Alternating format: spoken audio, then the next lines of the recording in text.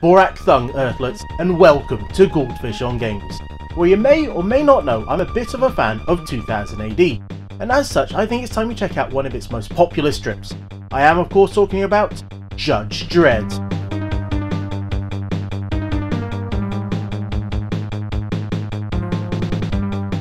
For those who don't know 2000 AD or Judge Dredd, here's a quick primer. 2000 AD is an anthology comic that's been running since the 70s. New issues, or progs as they're called, are released every week, and they typically have 3 to 5 stories in each one. Some are one-offs, but others are multi-part epics. Now one of the longest running strips is Judge Dredd, the lawman of the future who is judge, jury and executioner on the streets of Mega City 1, a city that covers a large part of the United States, and he is the law. Judge Dredd also has his own comic series known as The Megazine, which just hit its 30th anniversary, as well as two films and a good number of games, and even a song.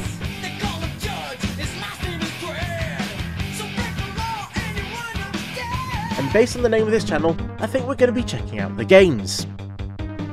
The first was simply called Judge Dredd, and it launched in 1986 for the Commodore 64 and in 87 for the ZX Spectrum, and is an open-ended game in which you head out to various locations to take down perps. But you better be quick, or if the number of cases get too high, you'll get the dreaded Crime Now Rages message, and it's game over. Now there are a range of crimes, and as such, you actually have a range of offensive options, from just yelling HALT at them, firing warning shots, or using live ammo. The perps themselves always look the same, so you'll always know when you found them, but finding them is the tricky bit and when you do finally track them down, you'll have to try and take them down, either by arresting them or by just taking them out. Now as I've mentioned, finding the perps is the real challenge as the levels are surprisingly complex and it's not the easiest to navigate as floors will randomly drop out from underneath you and you'll go plummeting. Though if you look at the bottom of the screen you will see a hint of where they can be found, but it doesn't really seem to help, as half the time I have no idea which floor or screen I'm currently on, let alone where they are,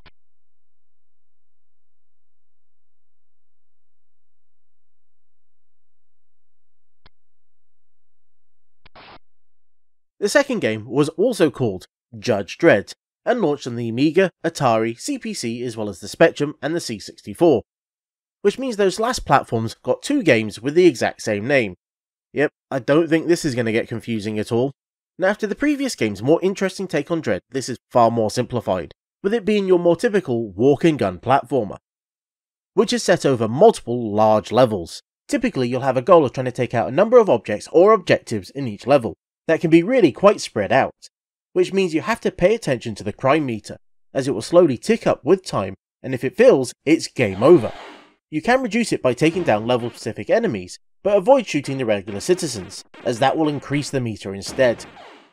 There is even the Lawmaster, but it's mostly useless, as the crime rate will increase while using it, and you can't move up or down the level while riding it. The hardest part of this game is actually finding the objectives and trying to get up the ramps.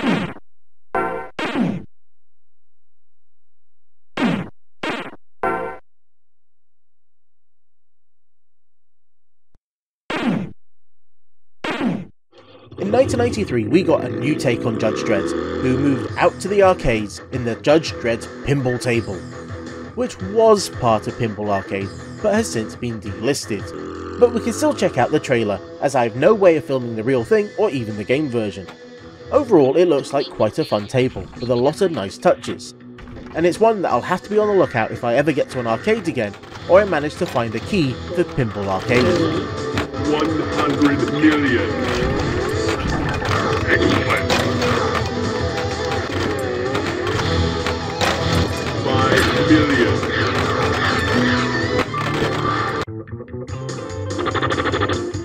Judge Dredd film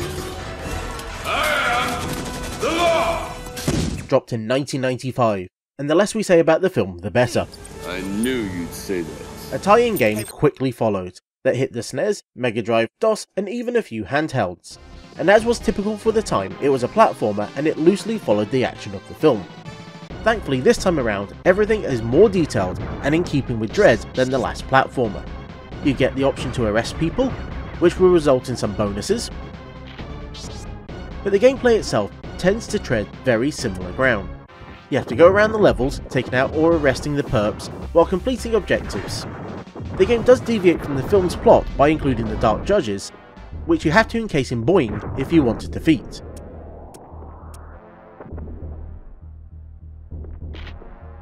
There's even a shoot 'em up section that helps break up the action. Amazingly, you can actually still get this right now on Steam.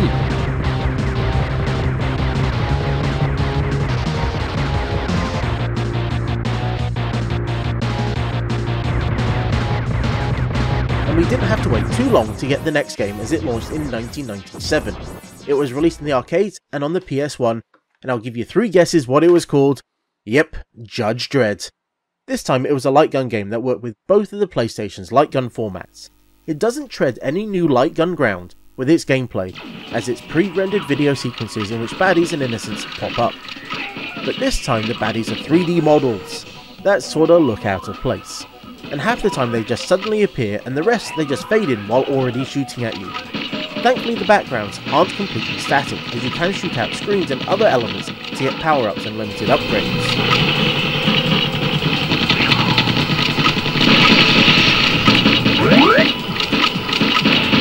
Concept behind the game is great, and it has some surprisingly well done fully acted cutscenes, even if Dredd looks a little forced. If I see any other judges, you won't believe what happens next. We're working on his identity, sir. Nothing yet. Dredd?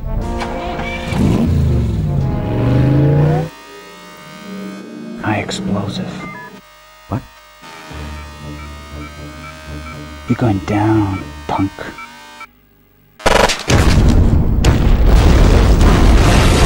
Amazingly, just a year later, we got another pinball game, but this time it was computer pinball called Judge Dredd Pinball, and was released for DOS and Windows. There is just a single table which is different from the physical machine we saw earlier. It looks quite nice, with quite a nice detailed LCD display, though most of the interactive elements are near the top of the table, which doesn't really help when the camera angle is fixed, so you see most of the bottom of the screen.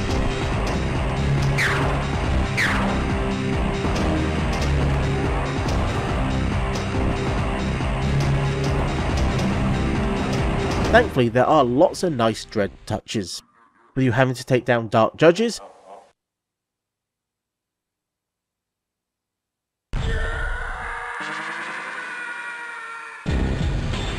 getting to visit Psi-Division, or even upgrading your bike. I will say the ball feels a little heavy, and it feels more like it's falling rather than rolling down. So it's not the best pinball game or table out there, but it is a nice novelty to check out.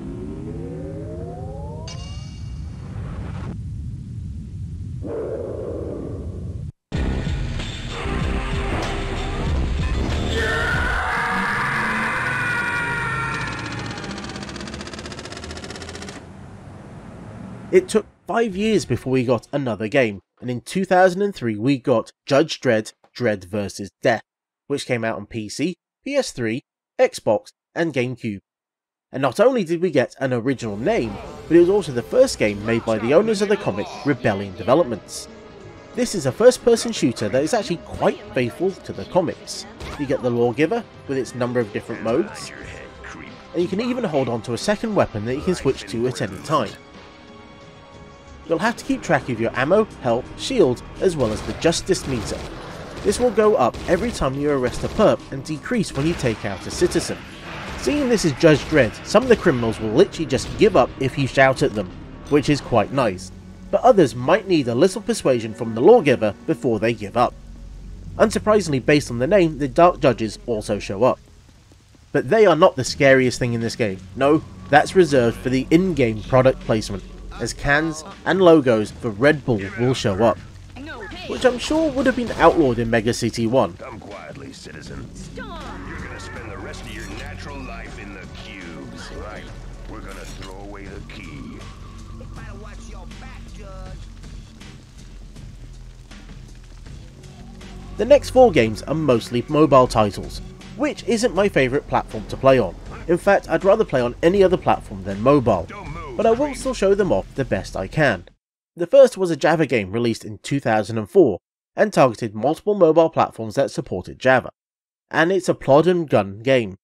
in which you take down multiple enemies as you travel around the levels trying to find the missing judge.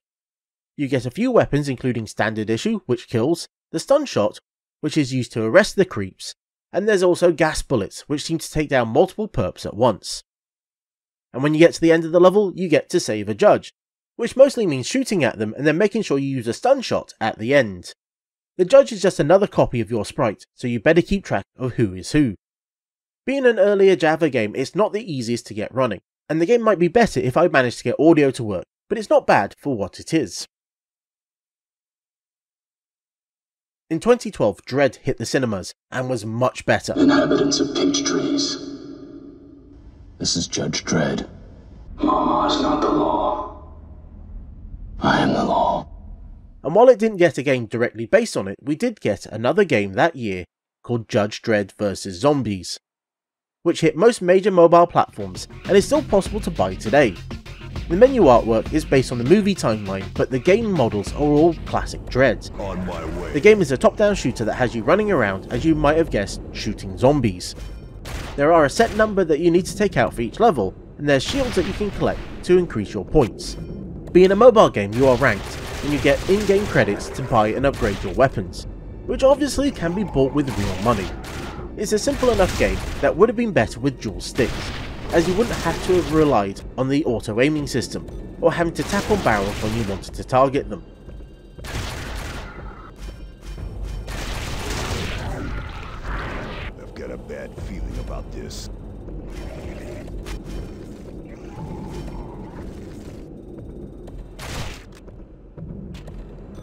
There was also a second game released in 2012 which was called Judge Dredd Countdown Sector 106, which also came out on a number of mobile platforms as well as PC. But the license ran out so you can't get it anymore. The game itself seems to be similar in style to the Choose Your Own Adventure books, which featured an entirely new story and artwork that was made just for this game. Just like those Choose Your Own Adventure books, you have to make choices of what you want to do and roll in-game dice at important moments. Or at least that's what it looks like you need to do from the trailer and the website. It looks cool enough for what it is though. The final game for now is 2019's Judge Dredd Crime Files, which launched on iOS and Android. They call the game a strategy RPG, but really it's a card game, in which you have to use cards to take on various creeps out on the street. This includes using various modes of the lawgiver, as well as using your daystick and arresting people. It's just that it's managed to distill everything I hate about gaming, and mobile gaming in particular, and put it into a single title. On the plus side, it's still being updated and you can still get it today, even if I don't think I'll ever play it again.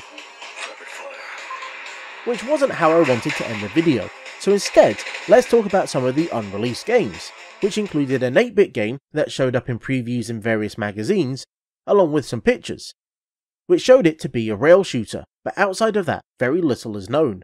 The other was a scrolling beat 'em up arcade game that used the then popular digitized art style and had Dredd going out and punching and kicking people. While Dredd was known for throwing the odd punch and hitting people with his daystick, his lawgiver was his real takedown of choice. It's a shame that this never really got released as it would have been really fun with a few mates. Judge Dredd!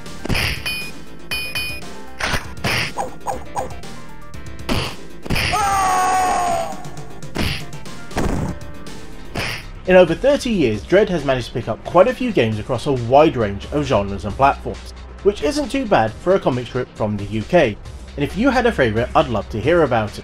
So until next time, I was the GouldFish, he was the Law, and this was GouldFish on Games. Thank you for watching my video, I do hope you enjoyed it, and if you did, you can let me know down in the comments, or you can use those buttons just below, you know the ones I mean.